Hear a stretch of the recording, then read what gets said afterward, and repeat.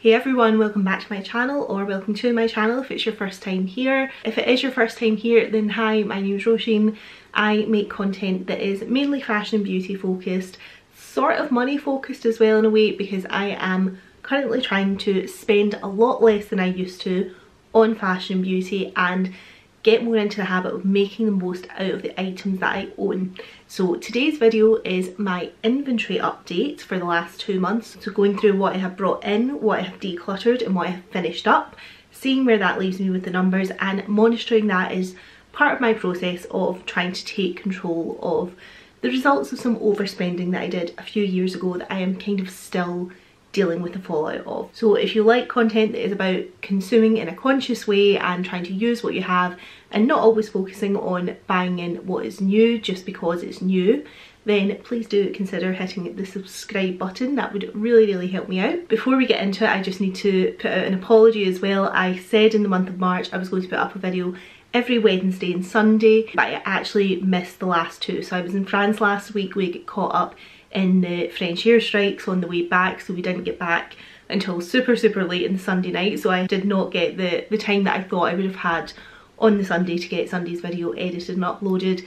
And I've just been a zombie all week. I really can't cope with like that kind of disruption to my sleeping pattern because I was right back to work on Monday and I've just not been functioning so we missed the last two so I do apologise for that. April's quite a busy month for me so for the month of April it'll be back to Sunday videos only. This is the first Sunday in April and we're going to see where my inventory is sitting so let's get into it. Let's start with makeup and I do have a few additions to my inventory. This video is covering additions, declutters and empties from the months of February and March. I did do an inventory update at the end of January. The figures will kind of take us to the end of quarter one, just to be clear about that. But getting into makeup, I do have some additions.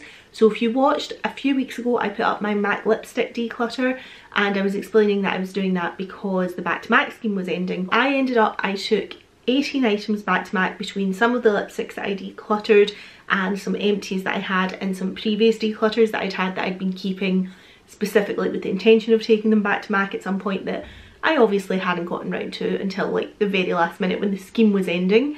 But I got in there and I got three lipsticks. So although these are added into my inventory, they didn't actually cost me anything because I got them through the back to MAC scheme. First one is the one that I'm wearing just now. So this is Chili. So this is one of the ones that I had this in my collection. It was quite old. I actually didn't really realise just how dried out it was until I got this one, this is what I'm wearing today, and although this is a matte lipstick, it is so, so creamy, particularly in comparison to the chili that I took back to exchange for a new one. So yeah, I hadn't really realised just how dry that one had become because obviously it does it gradually, so comparing that to a brand new one feels a bit mad but um yeah this is what I've got on just now and I absolutely love this. Absolute classic. In terms of the other two I did a second exchange for a new Sin. So Sin was another one that I had already. It wasn't quite off but it was turning it was going there. So I decided to declutter my existing Sin and replace it with a shiny new one. What I will do is insert a cutaway of me wearing Sin so that you can see what it looks like on the lips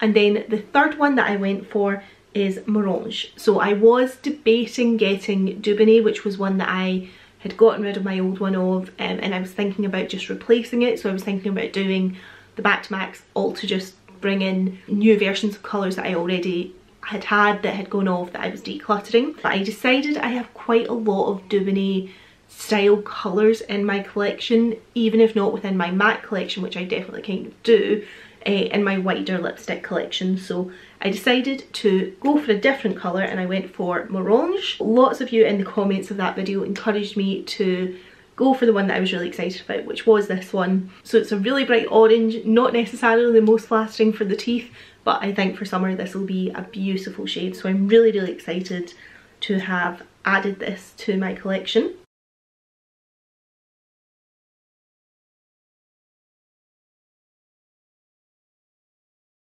And I also have another two editions two little samples. I got these at MAC when I was doing my lipstick exchange and this is their new foundation. I can't quite remember the name of it but it's the one that's in like a clicky pen. So I've got two samples here, one of NW13 and one of NW15. So I am wearing NW13 right now. I've only just put this makeup on ahead of starting to film and this is the first time that I've used it so I'm not going to kind of report back at anything at the moment but First impressions are that I really really like the foundation. I've got loads of foundations to use um, and I've got one in my project pan. I did put up my project pan intro last month so I will link that up in the eye if you missed that and I think next Sunday's video will be the first update to my 2023 project pan but there is a foundation in that as you'll know if you watched the intro and I have quite a lot of foundations on my inventory in general so I won't be making a purchase of the full size of either of these anytime soon but I was really interested in new foundation in general and I really like new brush that's with it. There's not been many foundation launches that I've been particularly interested in.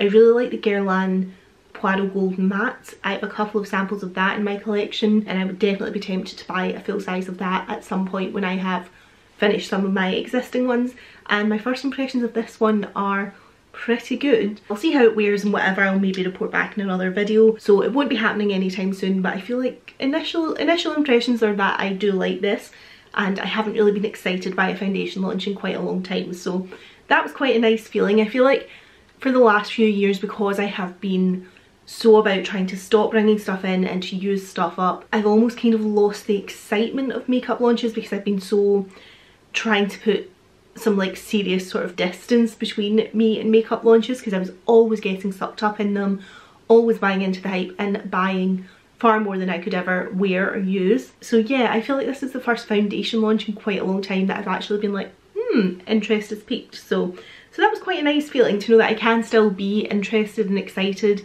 but also to know that I can still be interested and excited without having to buy the thing. Like I'm quite happy to have got the samples, be figuring out if I like it and to maybe earmark it for a future purchase. So feeling quite good about that development in my feelings about new launches. For the numbers, that gave me five additions to my makeup inventory this month or these last few months worth a total of $76 the lipsticks were worth $22 each and I've counted the samples as being worth $5 each because I have no real idea how much is in them mil wise or anything so I just called them a fiver thought that was the simplest thing. Then in terms of makeup empties, I will insert that just now. I have two empties. So first of all is the Makeup Forever HD powder. If you've been with me for a long time, you'll know this was in my first ever project pan back in 2018, I think. So yeah, you can see there's some markings in the bottom. So I've been trying to finish this for a very long time and I'm glad that it's finally done. A powder for filming and obviously I make YouTube videos, but I don't really need a powder just for putting in my face for filming YouTube videos. So I'm not going to go out of my way to repurchase this one. This I totally would have repurchased but it's a Becca one so I can't repurchase it anymore. So this was called the Hydra Setting Powder and it was just a loose powder but it was a really really nice one in the skin. It just didn't emphasise any texture or anything. I would definitely have been tempted to get a full size of this if I'd used it more quickly when Becca was still available to purchase but it's not anymore so there will be no repurchases of either of these two products. So two items worth 41.85 used up. And then in terms of my makeup declutters, if you watched my MAC lipstick declutter video, you will know I had quite a few, I think I had 12 at the end of the video, but what I've actually counted off my inventory just now is 8 worth $132.50. So the reason for that, because I had other empties, I didn't need all the lipsticks that I had decluttered to do the exchange with, so I did the exchange with the empties I already had, plus some of the lipsticks that I had decluttered, so I've counted the ones that I've actually passed back to MAC off of my inventory. The other ones are still sitting on my windowsill. So they are obviously the shades that I was least keen to declutter. So whether I will reclutter them remains to be seen or I might go through with decluttering them. But I'm not going to take them off my inventory until I have physically, you know, pass them on to somebody else. So I'm only counting eight off my inventory, eight lipsticks worth $132.50. So in terms of the overview, I opened my makeup inventory at the start of 2023 with a value of $14,799.56. I have added in $76 worth of items all year, so those are the first additions to the makeup category. I have used up 41.85 again didn't have any makeup used up in the month of January when I did my last video and I have decluttered $132.50 worth of lipstick so that gives me a total value of $14,701.21 so a little bit of a reduction there. In terms of quantity, it opened at 605 items. I have added 5, I have used 2 and I have decluttered 8. So that gives me a total of 600. So I am really pleased that that has gone down to the 600 and I feel like one more makeup empty will get me into the 5 somethings. Like one more would get me 599. I know that's not a huge reduction from 600 but I feel like we're inching closer to the 500 bracket. So really really pleased with that makeup is obviously the thing that takes the longest to use up i move through it the most slowly it's probably also the thing that i am most excited by or that there's most variety in so like it's the thing that I own the most of so yeah it's not something that I think I'll see go down super rapidly anyway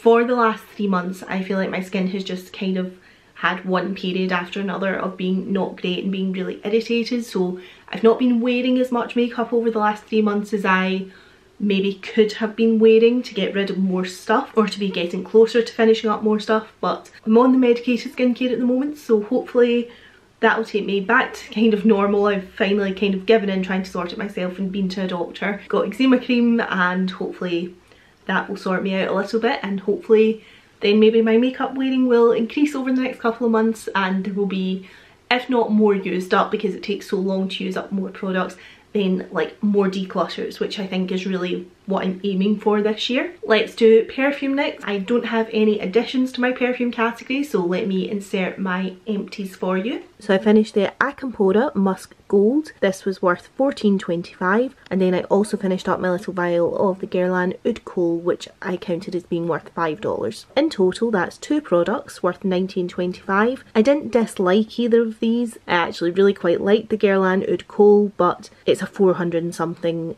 pound price point and I don't think I liked it quite that much to be honest. Other ones in the range that I think I would purchase before I would purchase that one if I was in the market for spending that kind of money. So two products worth 19.25 have been used up in my perfume category. And I actually have a perfume declutter. What I'm decluttering is this from Davines. It's actually a solid perfume. Um, so it's one item that I'm decluttering worth $18. The reason that I am decluttering it is just basically because it is a solid perfume I do not gravitate towards solid perfumes. I do love the idea of like solid perfume jewellery, so like brooches or whatever that have a perfume pellet in them. So they were something that was quite popular in the past, they're not as common at the moment. I know Diptyque do a few of them, but I don't think they do any of the perfumes that I really like from Diptyque in the pellets. It's um, pretty much their sort of best sellers and they're all very floral and not really particularly up my street. So I don't think I'll be buying any Diptyque ones, but yeah, I, I would possibly buy solid perfume jewellery, but that solid perfume has been in my collection for donkey's years. I never reach for it. I don't, I don't think it's a very nice, as silly as this sounds, I don't think putting solid perfume on is as nice a sort of ritual as spraying yourself with perfume. That maybe sounds a bit mad, but it is what it is. Like, I just, I don't gravitate towards it. I'm never going to use it. So it's just time to admit that and move it out of my collection. In terms of my perfume collection started this year worth $4,772.87. I added in $14.25, that was in the month of January. I have used up $31.75 worth of perfume and I have decluttered that one perfume worth $18. So that brings my perfume inventory down to being worth $4,737.37. In terms of the quantity of my perfume, I started with 47 this year. I added one, have used up three and decluttered one. So that takes my perfume inventory to a total of 44. So I don't have big goals for my perfumes this year. I panned a lot last year. I just want to be rotating through them this year. I do have one in my project pan, but that is very full at the moment. So hopefully we'll empty it by the end of the year within the project. But that's the only real goal that I've set this year in terms of using a perfume up. So as long as my perfume inventory doesn't increase this year, I'm happy with that. So let's move on to skincare. So I do have a couple of additions to my skincare inventory. First of all, I have two Sachi samples worth $2. Because my skin has been super irritated when I was in France last week, um, I bought this which is an eye cream.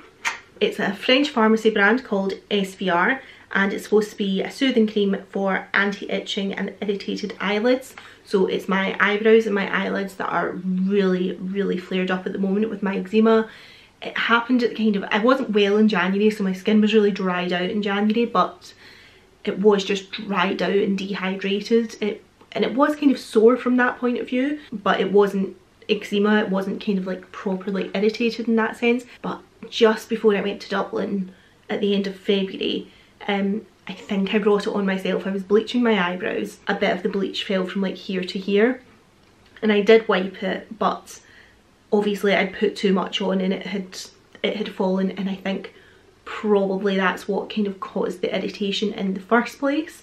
Having said that, this eye has now also decided to flare up so I don't know, maybe it was nothing to do with the bleach. I've had my eyebrows bleached plenty of times now, so I know it's not, I'm not allergic to the bleach, but obviously it's usually on the brow, so it wasn't really meant to touch the skin. I feel like that's what started it just before I went to Dublin, but as I say, this eye has now gone as well. So I saw this in the French pharmacy and I bought it because I thought, you know, anti-itching, irritated eyelids sounds exactly what I need. But having used it a couple of times, I feel like I have woken up with my eyes even more crusty and irritated than they have been before I had used this.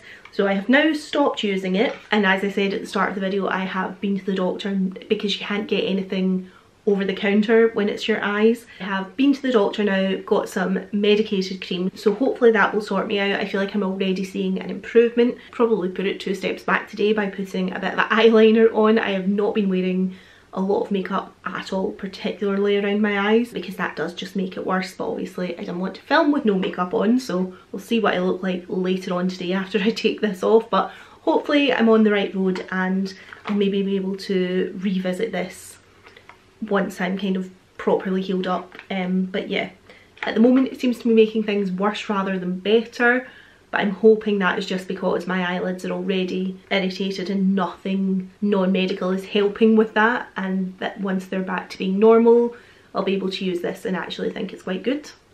Fingers crossed.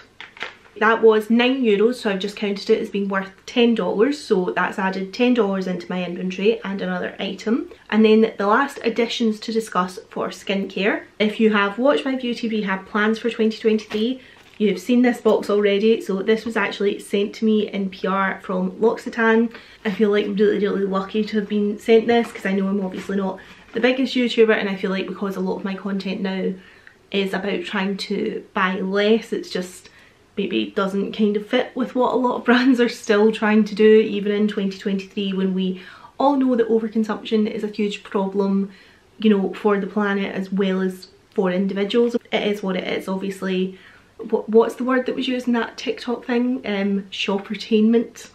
Shoppertainment is, you know, still alive and well and that suits brands a lot better than somebody like me. So I feel very, very lucky to have been sent this. So as you can see, there are four products in this box. And what I said in that last video when I was talking about this was that when I get PR, what I want to do is test it out and then decide if I want to keep it or not so that I'm not just adding things to my inventory.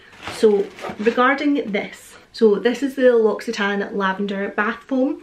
Now I don't actually have a bath at home so I don't have much opportunity to use this. However, I do have a mini of this already and what I said was I was going to soak my feet using the mini and see if I liked it and found that that was a good way to use it and if it was I would maybe keep this. That was about a month ago that I filmed that video and I have not once yet done that and I think this is something that doing my project pan has really taught me is that I think I use more than I actually do. Particularly this project pan this year because I'm counting, I'm tally marking on the back of my blush every time that I use it. So I'm monitoring my use in even kind of more pinpoint a way than I ever have done just doing project pans and looking at month to month what the visual progress is. Like I am tally marking and counting how many times I use it and it's a product that I'm putting an emphasis on using so I should be using it more than, than any other product in my collection and I'm seeing how little those numbers actually are versus what I kind of had estimated they would be. So I think the lesson I'm taking from that is that I use less than I think I do. I spend a lot less time doing beauty things than I think that I do And if in the last month I have not found the time to soak my feet with the mini of this that I already own, it's clearly not something I'm going to start doing on the regular when I was actively thinking I need to try and do that at some point. So it's not something I'm doing already, it was something I was going to start doing. It's something I need to start doing. My chiropodist has kind of advised me to start doing that, although she was saying soak them with salt rather than with the lavender bath foam, but you know, I could put some salt in alongside the lavender bath foam. Uh, salt's for soaking things in, not just like salt. You know what I mean. Um, I'm thinking about the fact that I'm supposed to start doing this. Have not yet started doing it. Clearly have not made it part of my routine. And even if I do make it part of my routine, I've got the mini of this and that's going to last me probably far longer than I think it's going to last me. So on that note, I'm not going to add this into my inventory. I am just going to pass this on to someone else. The other three things though I am going to keep. So the first is the L'Occitane Almond Shower Oil. I love this. This is like, even if they hadn't sent it to me, I've said before in videos with ones that I paid for myself, in terms of luxury, like indulgent bathing, this is where I'm comfortable at. So this is at the price point that it still feels indulgent. The product feels indulgent and beautiful on the skin, but it's not like having like my Guerlain shower gel that I had in last year's project pan where I just felt a bit guilty about using it every single time and washing it down the drain like that. So this is where I am comfortable, this like luxury that I enjoy indulging in without feeling any guilt about indulging in. So I am keeping this and this is worth $29. I am also keeping the hand cream, take out of the box because it's just going to rattle about. Also the packaging is lovely. How pretty is it? Like so so pretty. Look at that illustration on the bottom really really delicate and lovely. So this is the Immortelle Serum in Cream hand cream. So it's a bit more expensive than a usual L'Occitane hand cream, but all L'Occitane hand creams are great. It's something they do extremely well with. This one is worth $38 for 75 mils. I'm definitely going to keep that. You will probably see it in a future project pan. I do have, I think I've got a hand cream empty in this video or I had it in the last inventory update and then I've moved on I'm trying to finish my This Works hand cream first before kind of getting into using this one properly. So I won't be using it straight away. I'll finish my This Works one first and then I think we have a little 15ml one that I would just like to maybe knock out. But this will probably be in my 12 pans of Christmas or something this year. I think it is really really lovely so I'm very happy to keep that. I feel like because it is hand cream I know I will use it up. I think that's the key about any kind of PR that I want to bring in this year particularly with like skincare or whatever. I want to bring it in and know that I'm going to use it up and finish it in like the sort of near future. I don't want to bring things in and just be creating a huge collection that will last me for 10 years because that's where I was back in 2018 when I started my beauty rehab and we're only just kind of coming out of that in terms of some of these inventories. So uh, yeah hand cream I feel I definitely will finish up so I'm not worried about keeping that. And then the last product that I'm keeping is the Immortelle serum. And I haven't used this yet because my skin has been so irritated I just kind of stopped and didn't want to risk using anything but I do want to keep this and give it a shot. I felt like my month was up and I had to make a decision on these things if I was going to keep them or not and I've decided to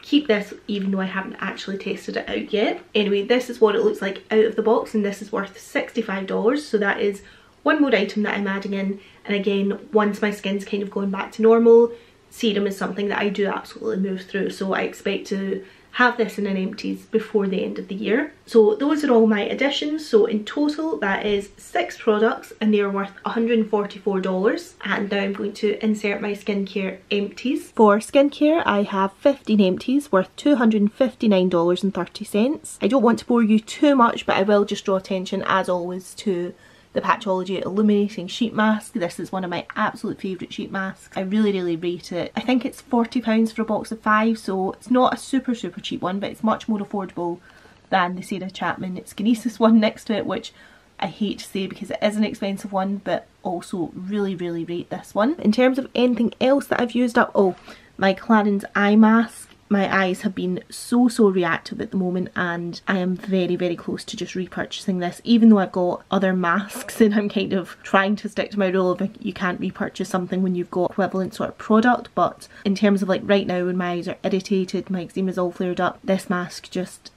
really puts the moisture back in and it doesn't irritate them in the slightest which I can't really say about anything else that I own right now so very very tempted to repurchase that. I'm a bit gutted that's actually the Augustinus Bader eye cream next to it which I'm glad to have used up because it was worth $40 so that's quite a, a good boost towards my total for that tiny little vial. I really love the Augustinus Bader moisturiser sample that I had last year so I was so excited to use the eye cream but my eyes were just too irritated I think to get the benefit of it. Two sample sachets, one of them though is the Kiehl's Hydro Plump which I have the full size of. I really, really rate this as a hydrating serum. And then I think the last thing I would say that I really liked from what I've used up here is this Kiehl's Avocado Mask. It's just a nourishing one, but really really like that my skin seemed to just drink that up i don't have any skincare declutters so in terms of where we are now with skincare I opened 2023 with $5,155.79 worth of skincare. I have added in a total of $212.80 I have used up a total of $454.97 and I haven't decluttered any skincare. So that has taken my skincare inventory in total down to $4,913.62. So I feel quite happy about the way that that is moving down.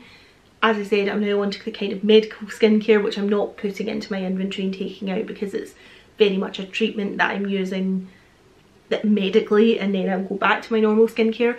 So I feel like once my skin calms down, I will use quite a lot more skincare in the next few months than I have done in the last few months. I'm feeling pretty okay about where the skincare is in terms of value. Quantity wise, we opened with 206 items, added in 10, used up 22, and that takes me to a total for the end of quarter one of 194 so I'm pleased that we are under the 200 in terms of the quantity and that takes me on to my last category which is hair care. So I do have one addition for my hair care and it is a new dry shampoo worth $30. Talked about this in my February budget check-in so won't bore you too much with the, the story behind this but yeah new dry shampoo $30 one item added in and then I will insert my hair care empties. Used up two products one was this John Frieda full repair conditioner so as you can see this is a big massive one I think it's 500 mils I really like the fact that it had the the pump dispenser in terms of keeping my my product use and wastage to a minimum but it did mean that this took me absolutely ages to use. I do really rate this full repair range though I would really recommend it. The conditioner there was worth $25.96. I definitely would repurchase it at some point obviously I've got loads of conditioner now to use and I'm really pleased that this big huge one is out so that I can get onto the other one. There's none at this kind of size so I definitely can move through a few more now that this one has been knocked out but I enjoyed using it and would get it again. Also finished up the Jonathan Van Ness mask which was worth $3.27. Again I really enjoyed this. I don't know if I would rush to buy it but I definitely would purchase it at some point in the future. I felt like it put a good bit of moisture in my hair but didn't really weigh it down or anything so I did like it. I don't know if I would rush for it but I wouldn't be, you know, if I got it again, if I got any more samples or whatever, which I think I might have another sample of this actually, um, I'd be perfectly happy to use it up. And I don't have any hair care declutters. Something I do just want to address with hair care though, because I feel like this is the kind of relevant place to talk about it even though it's not something that was in my inventory, is that at the end of last year I started taking the Hairburst vitamins that like all the YouTubers take and say are great. I started taking them at the very end of October so I was basically taking them through November, December and the first three weeks of January and then I got rid of them and I never put them on my inventory because I feel like like vitamins aren't really, I wasn't, you know, it's not really a thing in the same way that like having seven shampoos is. I'm not like hoarding vitamins, it's not a problem area so I wasn't putting it onto my inventory to take it off to talk to you guys about it in an empties video. I feel like when I was actually taking them, I wasn't really convinced that anything was happening. But see, since I've stopped taking them, I got my full fringe put in the week before Halloween. So my friend's wedding was on Halloween, which was I think a Monday. So I got my full fringe put in on the Saturday, not the one before Halloween, but the week before that. So say around the, the sort of 20, the early 20th somethings. And I felt like that fringe it was too short to start with so it needed to grow to a point where I actually wanted it to be. And then it kind of grew past that point and it did that fairly quickly. But my friend Lindsay who has a fringe permanently she says that her fringe always starts a little bit shorter than she'd like and usually within a week or two of leaving the hairdresser it's kind of where she wants it. So I didn't really think too much about that fringe growth and then about halfway through February I got my hair cut and I got this side fringe put in. So this is where it is. And it is now April. And this fringe is pretty much it's maybe about this much longer than it was when it was first put in. It's really irritating me because so I changed my parting basically. I went from a middle parting with a full fringe back to a side parting. And what I want is to keep a bit of a fringe so that there's a bit of definition there but I want to be able to get it behind my ear and I thought based on the growth of my full fringe and how the way that that grew out and the fact I'd basically kind of had turned that into a side fringe by the time I got the side fringe officially put in anyway. So this was cut shorter from where that full fringe had grown to within the sort of three months that I was taking those hair vitamins. So this got cut in mid-February and it's now April and it's it's barely moved. Sorry, I had to stop there whilst there was a whole load of noise going on outside with some lawn mowing. Uh, we're getting into that season, unfortunately. Essentially, I think those Hairburst vitamins were doing a lot more than I was really giving them credit for. I actually, I got some in the French pharmacy, I got some Phyto ones. So I'm trying them at the moment and I'm not going to buy the Hairburst ones again until I've finished those ones. But yeah, I definitely, I feel like I've noticed it from stopping taking them more than I really was giving it credit for when I was taking them enough that I have bought more. So I thought this was kind of the opportune moment to tell you guys about that. But finishing up in terms of the numbers, Hair care, I opened 2023 with $1,407 worth of hair care. I have added in $30 worth of stuff. I have used up $46.23 worth of stuff and I haven't decluttered any. So that has taken my hair care inventory down to being worth $1,390.77. I've got quite a big goal on hair care this year. I want to get it down to under a thousand dollars but I feel like I am closing in on finishing quite a lot of products and I have chosen to concentrate on my more expensive products first so although we've not seen a lot of movement in the first quarter I'm still feeling like hitting that goal is going to be achievable. In terms of the quantities, so I started with 64 items of hair care, added one, have finished up three. That takes me to 62 items in my hair care inventory at the end of quarter one. But anyway, thank you very much for watching this video and I will see you next Sunday with my next one. Bye!